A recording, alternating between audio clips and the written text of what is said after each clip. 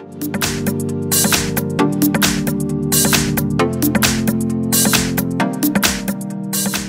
I have Panasonic Eluga i3 and let me show you how to enter here the fastboot mode on the following device. So at the very beginning let's start by pressing the power key, choose power off and tap OK to confirm it.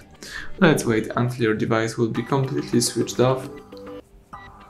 And then let's use the following combination of keys, power key and volume up. So let's hold down together those two keys, power key and volume up. Keep holding both keys and release them as soon as recovery mode pops up. When the no command picture pops up, let's start holding power key and press volume up once.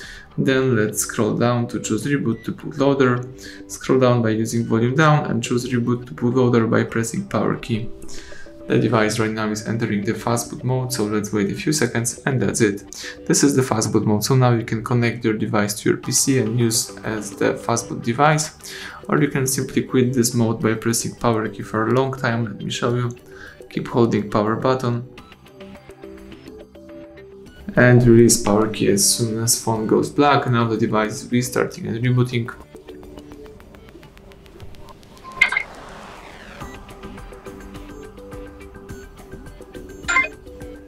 Excellent, so the home screen pops up, everything went well, thank you for watching.